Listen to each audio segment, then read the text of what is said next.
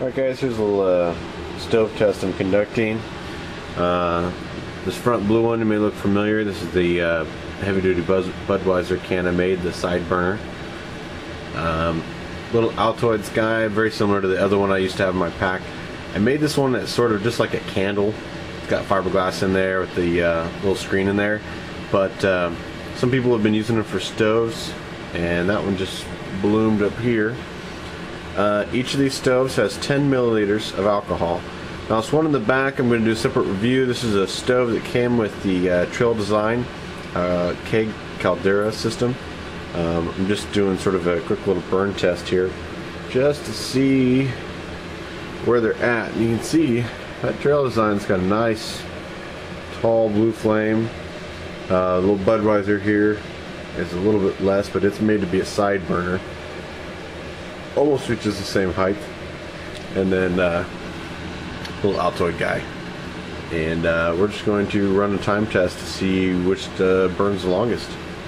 Um, everything looks like that. These all got uh, 10 milliliters measured with a syringe. Um, just for strict, see how long 10 millimeters, 10 milliliters will burn. Um, the quickest to burn out, but seem to have the hottest flame, uh, was the Budweiser at 3 minutes 45 seconds. Caldera was right behind it at 354. And then you get a pretty good gap, almost twice as much. Uh, next would be the Tea Light with 10 milliliters, was 8 minutes worth of burn time.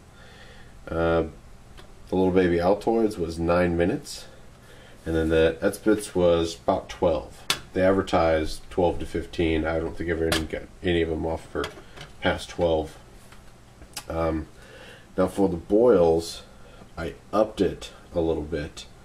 Um, simply because I wanted to measure to be equal, I figured that if Esbits is a half ounce, you figure that's there's 29 and a half um, milliliters in an ounce. So roughly 30 milliliters to an ounce. Half of that is a half ounce would be 15. So for the uh, for the boil time, so we could compare with the Esbits, I calculated that it basically equals about 15 milliliters uh, worth of fluid, so we could match up. So 15 were in the tea light, 15 were in the bud, uh, 15 went. I didn't do that one because we'll do that one separately. Um, and the Altoids, and we all used an Esbits cooker, uh, Snow Peak 700 with two cups of cold water or 16 ounces. And uh, let's see here. We ended up with, let's start at the top. The uh, Baby Altoids was a 9 minute um, cook time, just barely, barely came to a boil. Um, you've got the uh, Budweiser Blue here that uh, did a boil time in 7 minutes. Um, and I didn't calculate how long it burnt after that. Um, basically worried about a boil time. So 15 milliliters, 7 minutes, you got to boil. So that was, I think, by far the quickest time out of these four here. Um, let's see. Tea light with 15 milliliters, boiled at 10 and a half minutes, and uh, basically died at 11. So it just had enough juice to just bring this to a boil.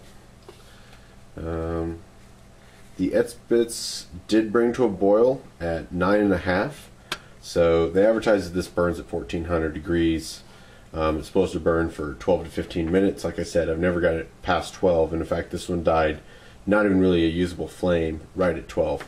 Um, but I did get a boil at nine and a half minutes, which beat the tea light by about a minute to reach a boil. Um, this guy again was nine. So for your range these, see, seven and a half, well, seven minutes flat for the blue.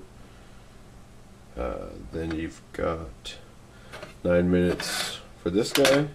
Esbits at, where'd it go? Nine and a half, and ten and a half for the tea light. So, you're sort of gaining, this guy definitely burned a lot hotter. You got a big, being a bigger flame pattern. Um, you know, keep in mind with the other tests, it was the first one to run out. But it was a hotter output. It used all its power right at once, and you got a quicker boil time, which is pretty impressive. Uh, the stove itself is a little heavier. One of the reasons I was comparing these guys is if you weigh this full of fuel, 15 milliliters, um, for this test, you weigh that and the fuel. It weighs identical, 13 grams, to this guy.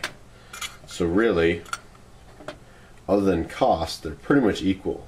Uh, you got one minute sooner at nine and a half than the ten and a half boil time here. Um, it's pretty comparable. Um, so as far as weight gains, I think the only difference would be ease of accessible for alcohol uh, for the T-Lite.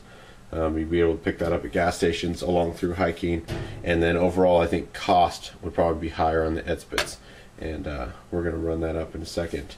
Um, I did exclude the Caldera out of that boil time. Uh, a, to be fair, it doesn't fit in the Esbits part, and uh, I'm going to be doing this with its own system here, and we'll compare boil times with its own stove and setup. Thanks.